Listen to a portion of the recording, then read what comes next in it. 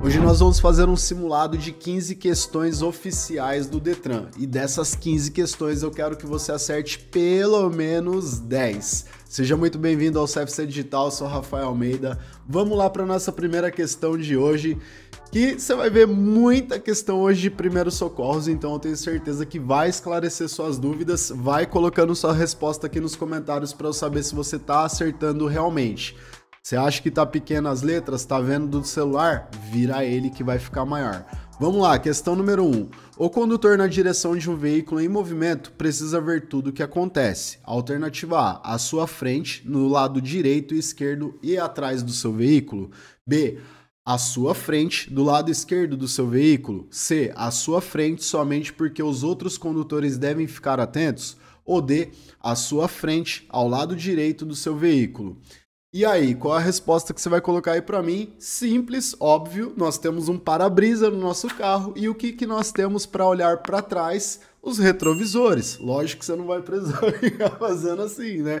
Então você tem o retrovisor interno e os externos e se percebe que o nosso carro com a janela ali, você observa ali que vem outros carros. Então se você for fazer uma conversão ou se você tiver numa faixa de aceleração, além de olhar no seu retrovisor, dá uma giradinha na sua cabeça aqui para você ver se não tem ninguém no seu ponto cego. Isso é muito importante. Então aqui a resposta fica muito clara, né?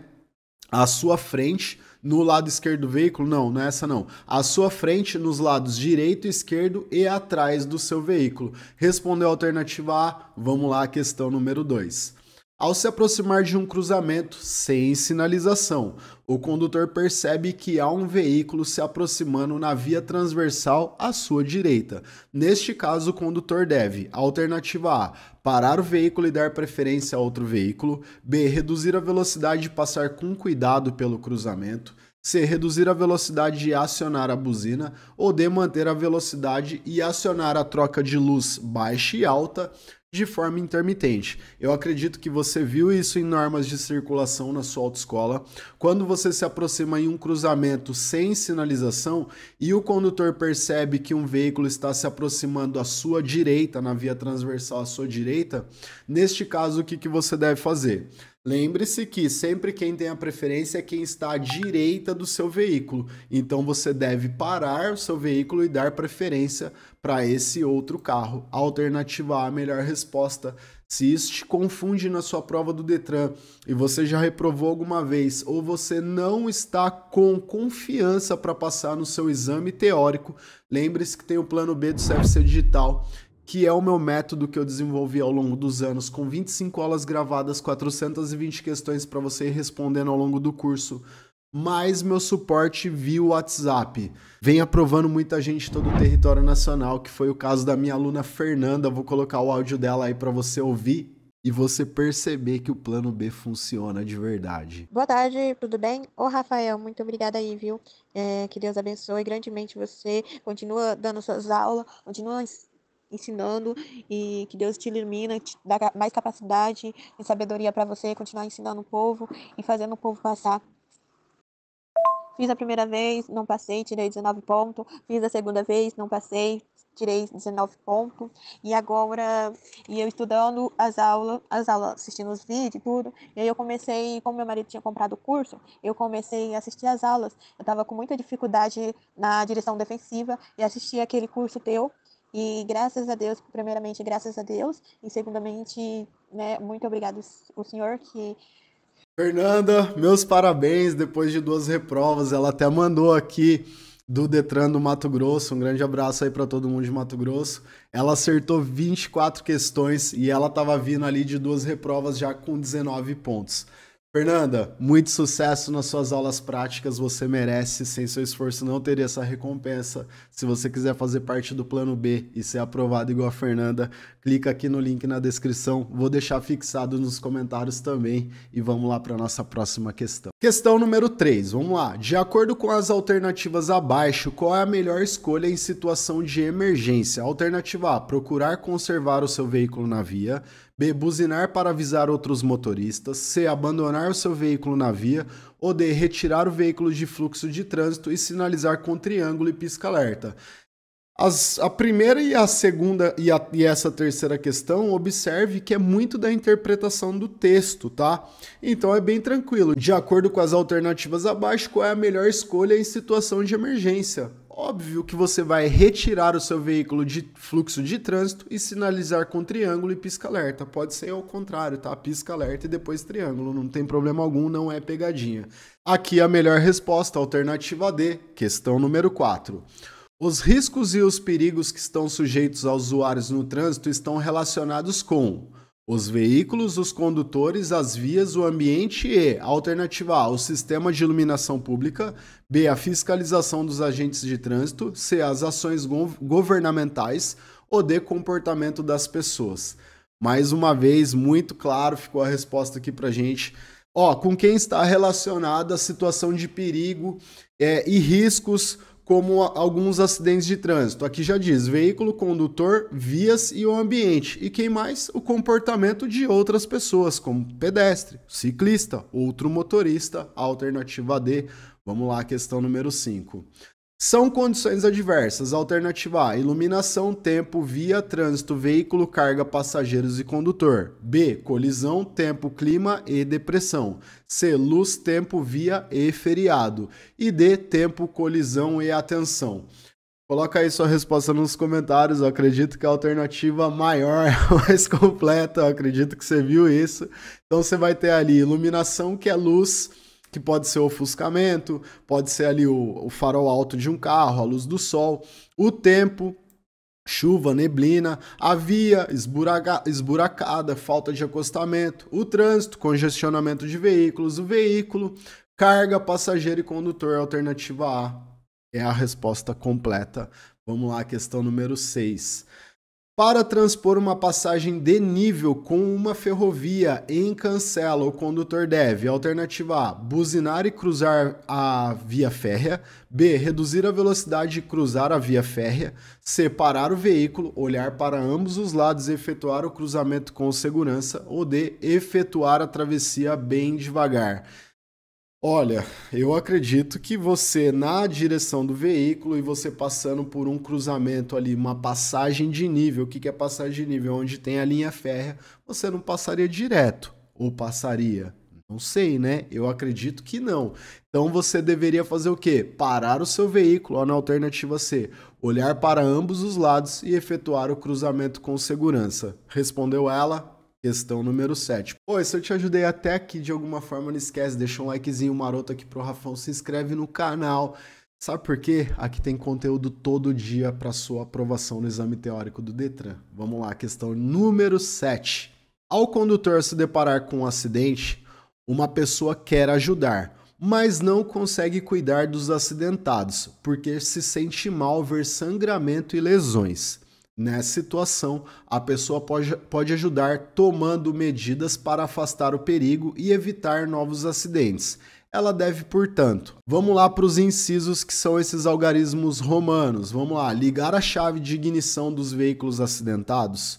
2. Sinalizar o local para evitar novos acidentes e atropelamentos. 3. Definir um local para melhor colocação do triângulo. Vamos ver a pergunta agora. São condutas de primeiros socorros consideradas corretas as descritas em alternativa A, 1 e 3 apenas, B, 1, 2 e 3, C, 1 e 2 apenas ou D, 2 e 3. Então, ó, entenda, entenda aqui a história do enunciado. Fala que uma pessoa, quando ela se depara com um acidente de trânsito, ela tem dificuldade em ver lesões, ver fraturas, ver a pessoa sangrando. Se esse caso for o seu também e você vê um acidente de trânsito, nem vai para cima do acidentado. O que, que você vai fazer? Sinaliza o local e chama o socorro. Joia? Importante. Ali eu vim um, no primeiro inciso falando para ligar a chave de ignição dos veículos acidentados. Não, desligue a chave de ignição, porque dessa forma você vai cortar a corrente elétrica do veículo acidentado e dessa forma você evita uma ocasião de princípio de incêndio, porque se tiver vazamento de combustível, a parte elétrica do veículo estiver ligada, pode ocorrer um princípio de incêndio.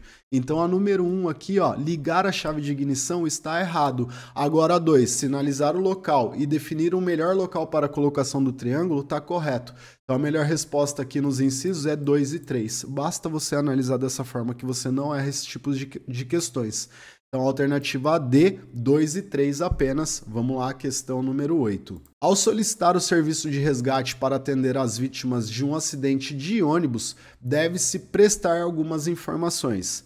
1. Um, tipo de acidente. 2. Gravidade aparente do acidente. 3. Número aproximado de vítimas envolvidas. E 4. Nome da rua e número aproximado. As informações que ajudarão as equipes a prestar um socorro mais adequado e eficiente estão descritas em A. 1, 2 e 3 apenas. B. 2 e 3 apenas. C, 2 e 3 e 4 apenas, ou D, 1, 2 e 3 e 4. Poxa vida, eu lendo, eu fazendo a leitura já para mim aqui em voz alta, eu já entendi que quais são as melhores informações. Você vê um acidente com um ônibus, Quais são as informações que você vai ter que prestar ali para o SAMU, para o bombeiro? Tipo do acidente. O que, que, seria ali o tipo de acidente? Ônibus com QA, ah, ônibus com caminhão. Gravidade aparente do acidente, colisão frontal.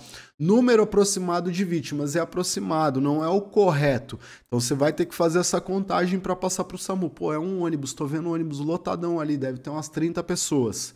Já para você passar a melhor informação e eles fazerem o deslocamento do maior número de viaturas possíveis. E nome da rua e número aproximado. Ah, Rafael, mas foi numa rodovia. Nome da rodovia e quilômetro aproximado. 1, 2, 3 e 4 está correto, respondeu a alternativa D. Parabéns. Vamos lá, questão número 9. As três regras fundamentais de primeiro socorro são: cansado de falar aqui no canal. Se você caiu de paraquedas aqui, por isso que eu falo que é importante você fazer a sua inscrição, ativar o sininho, porque você fica por dentro de todas as questões. Vamos ver quais são as três regras fundamentais aí entre as alternativas. Alternativa A: afastar os curiosos, telefonar para o serviço de resgate e oferecer alimento, doces para o acidentado. B. Tranquilizar o acidentado, estimular a circulação do local fraturado por meio de massagem local e atuar com rapidez. C. Aquecer o acidentado por meio de uma oferta de bebida quente, avaliar a situação e conversar de forma calma com o acidentado. Ou D. Não entrar em pânico, pensar nas condutas a serem tomadas e avaliar os riscos existentes. Essas são as três regras fundamentais dos primeiros socorros. Não, manter, não entrar em pânico, então manter a calma. E depois, pensar nas condutas a serem tomadas. O que, que você vai fazer? Ligar o pisca-alerta, sinalizar o local do acidente. E depois, avaliar os riscos existentes. Ali não diz chamar o socorro, mas não tem problema. A melhor resposta aqui fica a alternativa D. Respondeu ela. Vamos lá, questão número 10 são sinais de hemorragia interna, exceto alternativa A, pela Pele fria e úmida. B. Palidez e tontura. C. Sede e enjoo. Ou D. Pés e mãos quentes. Quando fala exceto, é o que não é que a pessoa está sentindo. Deu para entender?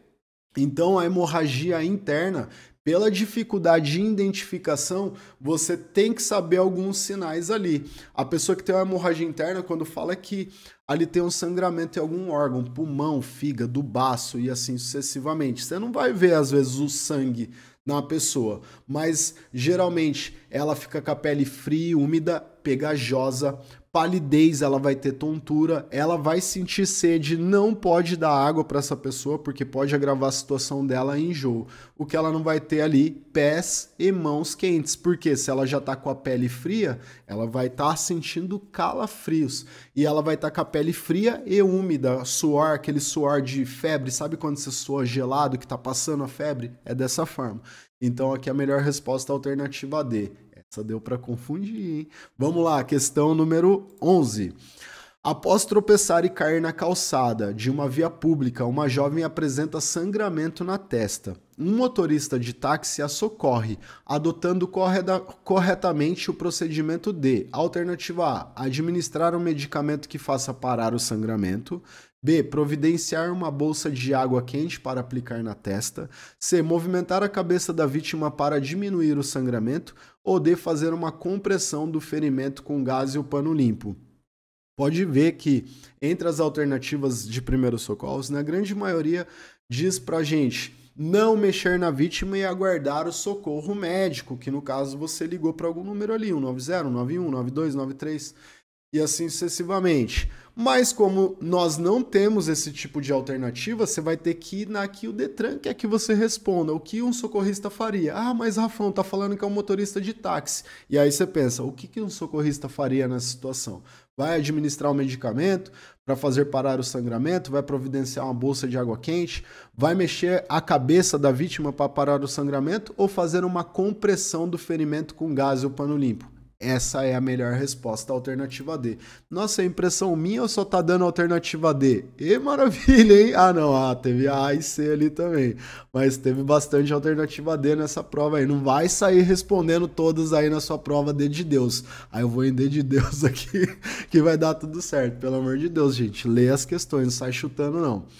Questão número 12. Usar o farol alto ou farol baixo desregulado ao cruzar com outro veículo, vindo em sentido oposto poderá, alternativa A, procurar, é, provocar penumbra, B, ofuscar a visão dos outros condutores, C, desviar o faixe de luz que permite a visualização da sinalização, ou D, evitar o ofuscamento de outros condutores. Evitar não, né? Se você está usando farol alto ou baixo na contramão de direção, isso pode fazer com que ofusque a visão de outro condutor.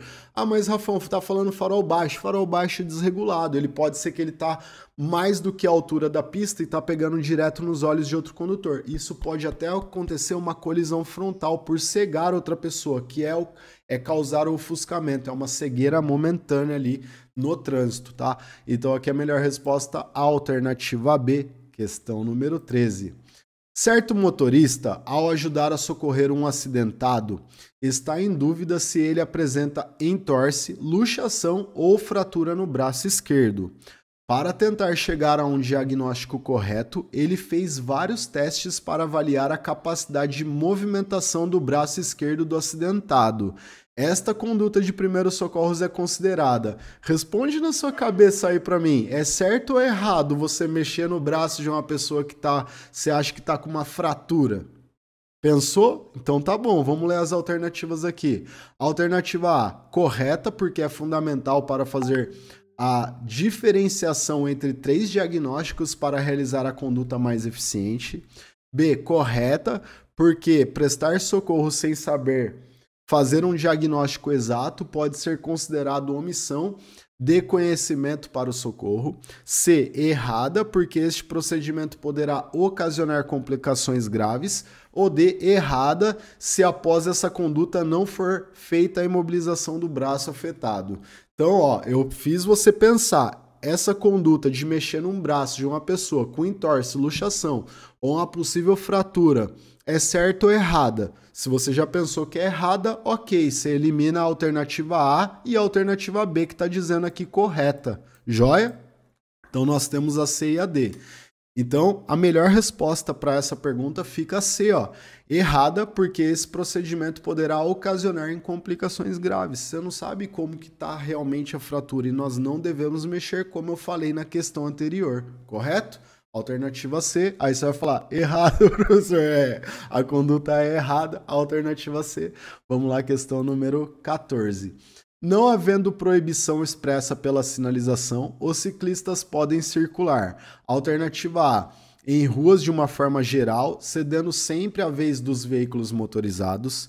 B, em rodovias sem acostamento. C, em ruas de forma geral, com prioridade sobre os veículos motorizados ou D em calçadas. E aí, qual a resposta que você deixa aí para mim? Não havendo proibição expressa pela sinalização, o ciclista pode circular pela rua. Ok, mas com prioridade sobre os veículos ou ele que vai ter que ceder sempre a passagem para os veículos? Ciclista e pedestre sempre têm prioridade sobre os veículos, os veículos não motorizados e os pedestres sempre têm prioridade sobre os veículos. Não abusa, não abusa da lei, tá? Então vamos lá. Em ruas, de uma forma geral, com prioridade sobre os veículos. Respondeu a C, questão número 15, a última do dia. O condutor, ao ser colhido por um forte vento lateral em uma rodovia deve. Eu sempre falo que é ser cobrado em todo o território nacional. Ela veio na questão de prova ontem perguntando de uma forma um pouquinho diferente, tá? Então muda um pouquinho o enunciado, mas a resposta você vai ver que é praticamente a mesma. Alternativa A: trafegar em zigue-zague dentro da própria faixa para neutralizar o impacto do vento. B. Segurar o volante levemente a fim de reduzir o risco de capotagem. C. Reduzir a velocidade para manter a estabilidade. Ou D. Acelerar a fim de aumentar a força de atrito entre o pneu e a pista. E aí, facinho essa daqui também, né? Alternativa C. Reduzir a velocidade para manter a estabilidade e segura firme no volante. Em alguns casos, em alguns estados, fala até para abrir o vidro do carro para esse vento cortar o carro. Não estranhem essa resposta, ela existe, tá? Mas aqui no caso eles só deixaram reduzir a velocidade para manter a estabilidade. Respondeu ela. E aí me conta. Eu falei que dessas 15 eu queria pelo menos 10. Quantas você acertou? Se você acertou mais do que 10, parabéns. Não estava difícil essa prova de hoje, vou ser muito sincero com você.